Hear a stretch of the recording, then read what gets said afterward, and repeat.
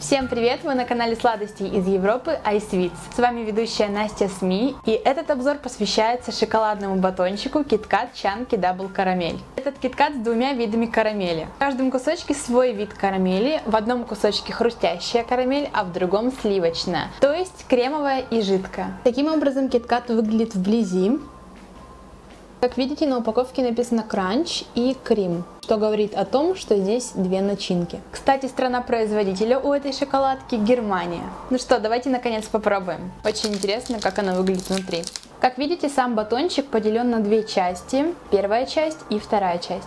Сейчас посмотрим, какой батончик в разрезе. Пока что все одинаково. Я разрезала батончик и теперь посмотрим, что внутри.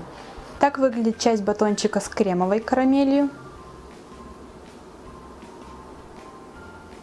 И вторая часть батончика с жидкой карамелью.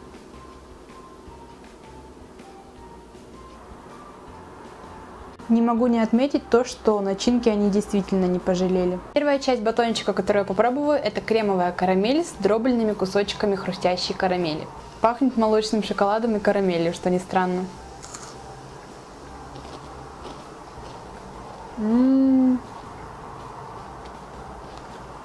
Обалденно просто. Очень вкусно. Карамель хрустит на зубах, кремовая карамель прямо тает на языке, пахнет какими-то печеньками. И вот эти кусочки дробленной карамели так хрустят, просто обалденно. Теперь попробую кусочек с начинкой из жидкой карамели. Здесь идет вафелька и сама карамель, которая прямо выдавливается. Пахнет карамелью тоже, но немножечко все равно другой запах. Ммм,